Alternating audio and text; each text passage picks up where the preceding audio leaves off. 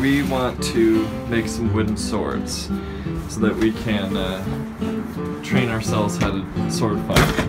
Because that's just Okay. fun. Yeah, it is. That's just lots of fun. so Storm does woodworking, so we we're gonna check and see if he's capable of making uh, handles, and then we're gonna go buy dowels. This would work, but uh, it's ash wood, and it's very, very okay. hard.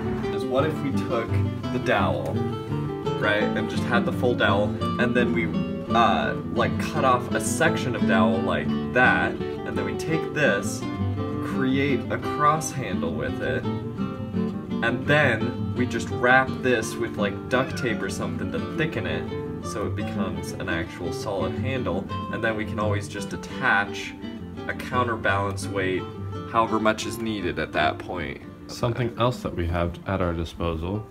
Follow me back outside. Ah, I think that would make two handles, and then Yeah, if we did like w- at least one-handed swords, that would easily make a handle. yeah, And then we just need And to hollow out enough that we can get a dowel in it. That could make that could make a couple cross guards because they don't need to be big. We could honestly cut that in half, and then there's two two cross guards. It just needs to be enough.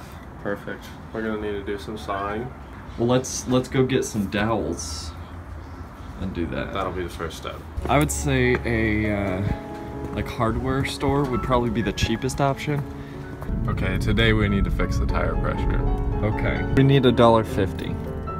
We need a dollar fifty for air. Yeah.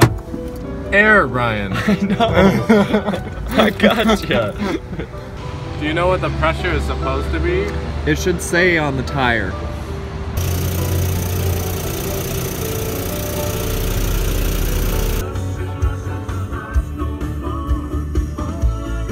All you need is Oh. the handle comfortable to grip.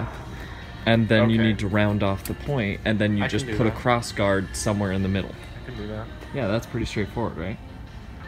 Yeah. Okay. Okay. Um. So- not this one though. Okay. Okay, let's go. Got this done. Yep, that's pretty long. I figured. It's less than half that even the big sword goes. Right. About 40 inches without the pommel. Let's use let's use the ends because then we only have to make two cuts rather than three cuts.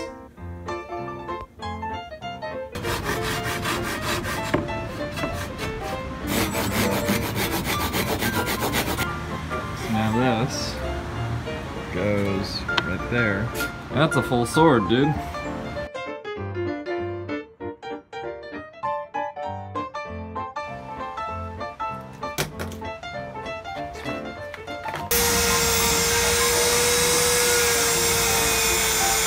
So we learned a valuable lesson today.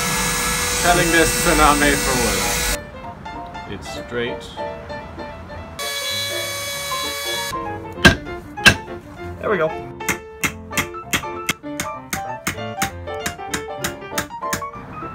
That's our basic. That's that's well on its way, dude.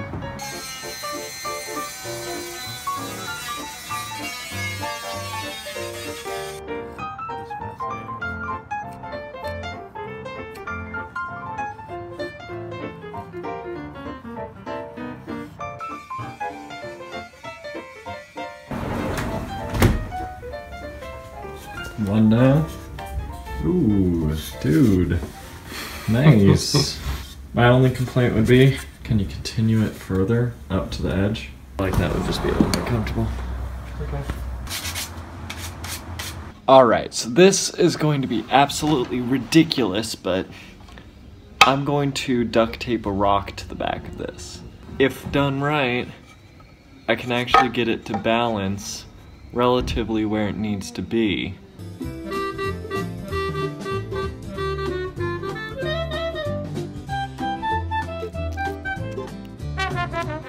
Okay, check this out. Here's our template. There's the line it needs to balance on, right? Right there. That's where it needs to balance. Here's the line it needs to balance. Duct taped a rock to the back. And boom. Balance is right there, baby. It doesn't look the grandest, but I don't know. I can't complain. Oh. Right now, Storm is finishing off handle number two.